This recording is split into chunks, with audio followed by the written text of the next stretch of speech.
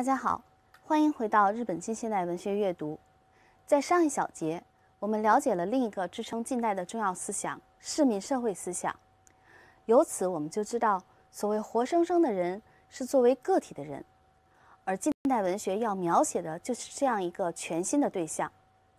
新的描写对象需要有新的描写方法，而达成这种新的描写方法的重要条件就是言文一致。那在翻看日本近现代文学史时，我们经常会看到“言文一致”这个词，同时也经常能够看到与言文一致联系在一起的作家，比如叶卫渠先生在日本文学史中讲到二叶亭四迷的浮云具有哪些历史功绩时，就提到这部小说实践言文一致，创造了新的文体。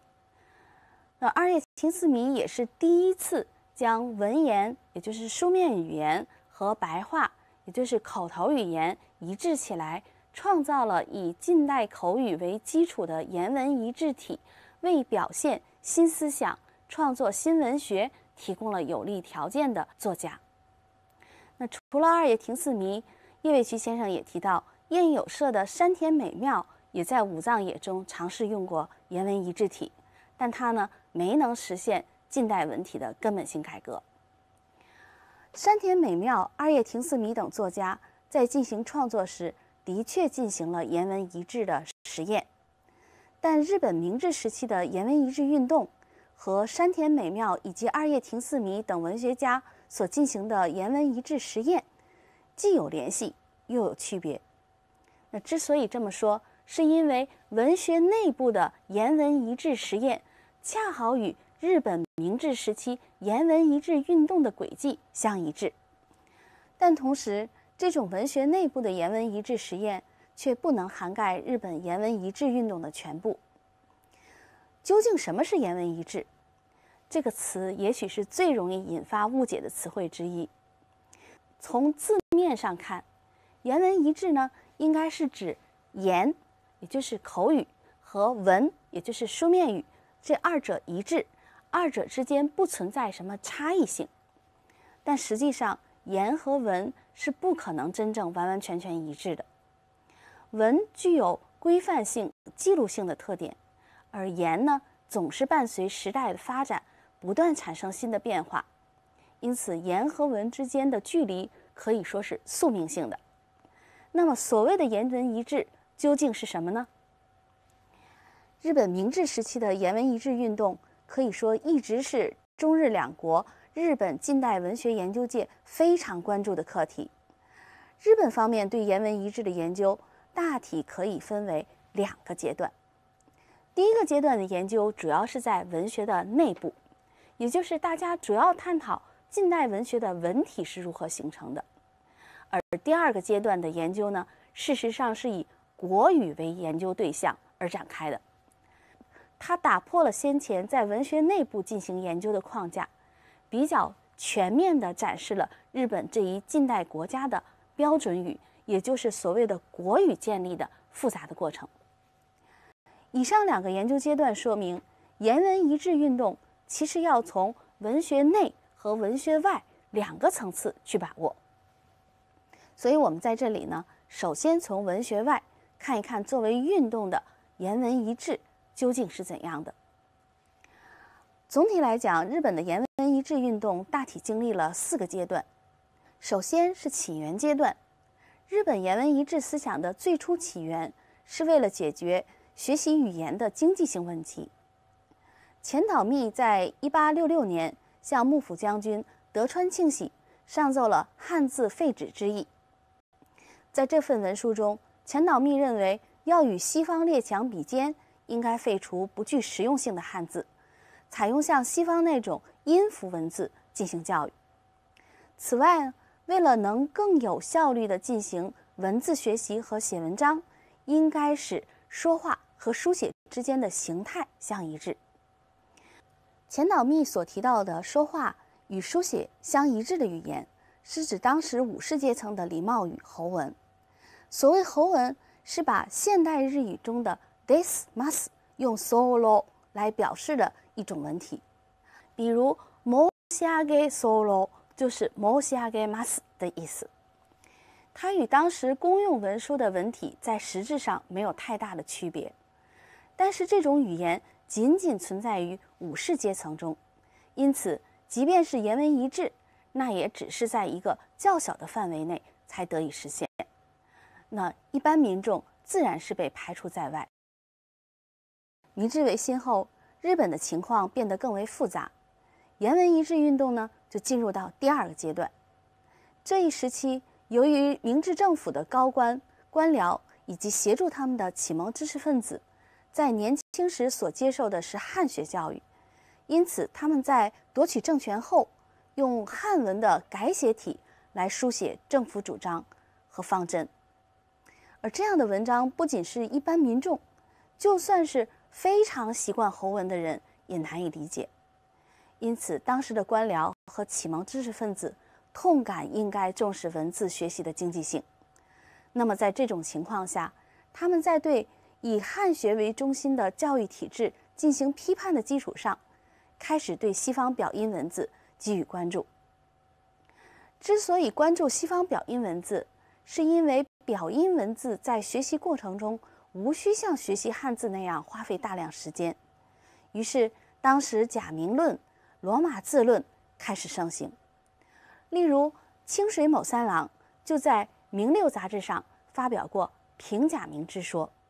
并在翻译化学专著时以假名文体进行实践。此外，福泽谕吉也讲，日本既有假名之文字，同时混用汉字，甚不妥当。假名论或罗马字论虽然主张有所差异，但这些主张在实质上都是从经济性出发。希望通过改革文字的表记问题，以达到言文一致的目的。换句话说，当时关注西方表音文字的人认为，只要把当时使用的文用表音文字进行表记，就可以自然而然地实现文字学习的经济性。站在今天的角度看，这种想法自然十分天真。而伴随运动的发展，人们也的确发现，无论是使用假名，还是使用罗马字，都是表面性的东西，根本解决不了真正的问题。因为即便是用表音文字来书写文章，由于使用的文体没有任何改变，那结果呢，便是如果对汉字的复合词没有理解能力的话，文章的内容依旧苦涩难懂。当然，文字学习的经济性也就没有办法实现。因此，文体改革。可以说已经不可避免。那于是言文一致运动就进入到第三个阶段——文体改革阶段。从当时的文体状况来看，汉文直译体、侯文以及和文等混杂在一起，并没有一个标准的文体，也就是说，根本就不存在一个统一的文。因此，创造一个统一的文体。就成了当时言文一致运动的首要任务。当然，这种文体不仅要适合官僚以及知识分子，还必须照顾到一般民众和年轻一代。在这一要求下，当时的启蒙知识分子发现，在欧洲和美国，说话时所使用的语言和文章所使用的语言基本上没有什么距离，因此把说话的语言直接变成文章。变成了言文一致运动的主要原则。在这一原则指导下，俗语，也就是日常会话所使用的语言的价值开始被认识。但是这样一来呢，也存在两个问题：第一是当时日本的俗语比较粗野，不够文雅；第二呢是地域性差异很大，也就是说，当时的日本也不存在着一个统一的言。既没有一个统一的文，也没有一个统一的言，那么言文一致运动本身便失去了基本前提，根本没有办法成立。虽然明治时期的言文一致运动注定无法取得成功，但没有统一的言和文将会极大的影响国家运行，这一问题呢必须加以解决。于是自然便到了制定国语阶段，也就是第四个阶段。虽然没有标准共同语言，导致言文一致运动受到挫折，但与产生于民间的言文一致不同，国语的制定是从国家层面展开的。它创造了在日本任何地方都可以流通的均质的言，这就为言文一致提供了最基本的前提条件。这也就是说，国语的制定虽然是言文一致运动的第四个阶段，但这与言文一致运动并不完全是一回事儿。从二者的关系来看呢，并不是言文一致运动促进了国语的形成，恰恰相反，是国语的制定使言文一致运动得以延续。国语的制定以及推广是以政府为中心，在整个国家的范围内进行的。国语是为国家支配而设置的政治装饰，它是语言。和国家意识相结合的产物。这就像社会语言学家李延书所指出的那样，所谓的国语，并非是从一开始就存在的，它是在为求得适合近代国家语言规范的意志下而创出的价值对象。什么意思呢？就是说，近代国家需要一种规范的语言，于是，在这样一个国家意识下，国语就被。创造出来了，而且得到普及。一九零零年开始，一些推进国语的具体措施开始实施，例如受日本文部省委托成立国语调查会，在初等教育中设置国语科，编纂教科书时留意口语表现等等。而这一系列行为的背景，则是中日甲午战争后日本国内高昂的国家意识。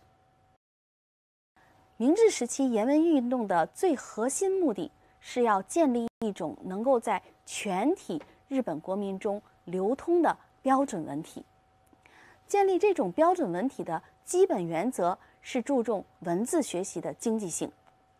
而在这一过程中，之所以注重俗语，是因为要使说话时所使用的语言原封不动地变成文章语。那么，日本的这一言文一致运动与日本近代文学中的言文一致实验又是怎样一种关系呢？我们下一个小节将继续谈这个问题。